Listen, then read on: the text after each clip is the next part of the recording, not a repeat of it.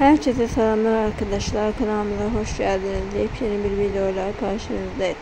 Rüzgarlı Tepe'nin başarılı oyuncuları Cemre Arda ve Gökberk Yıldırım'dan yeni görüntüler geldi.